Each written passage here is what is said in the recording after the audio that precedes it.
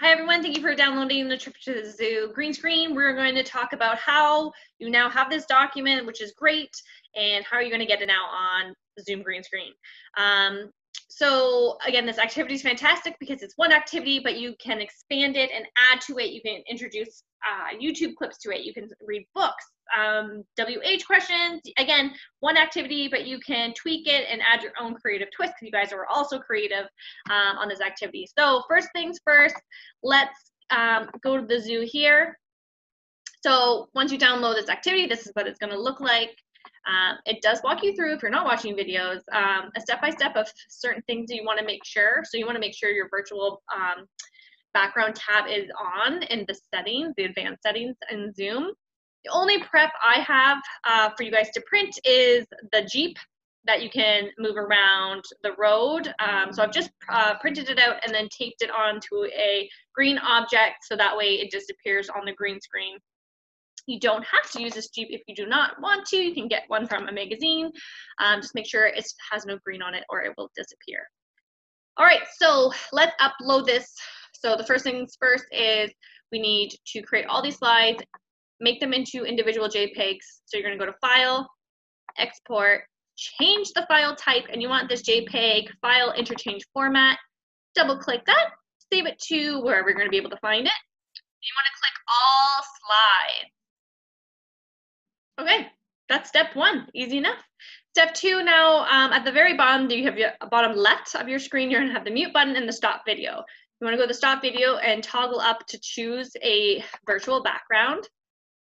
And I'm gonna share my screen with you, um, which you do not need to do um, when you're just doing green screens.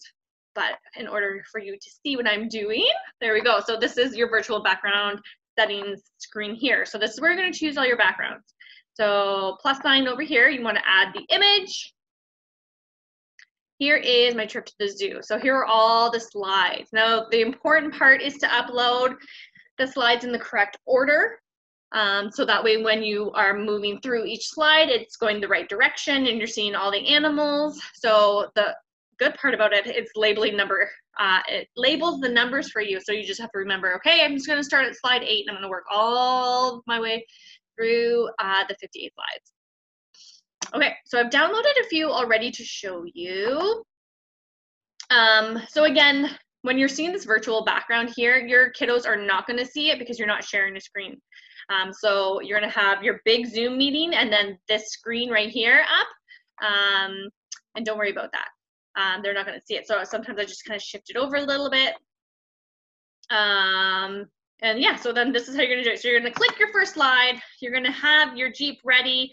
We entered the zoo and you're gonna drive from animal to animal just by moving um, your green Jeep around from slide to slide. Now to navigate from slide to slide, you're gonna use your other hand and press the arrow key to the right. And then you can go through each pictures that you're visiting.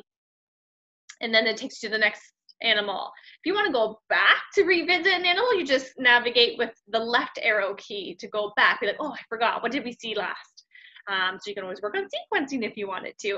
Um, and you're literally just pressing the arrow button to go from slide to slide to visit the different animals. And then you're just going to drive around the screen, woo, all the way around to see all the animals um, at the zoo. And then you leave the zoo super happy. You've learned so much. Hope that helps and have so much fun. And if you can, follow us on um, Instagram, all underscore about underscore communication underscore inc. I would love to see what you guys are doing with these activities and share your creativity with everyone.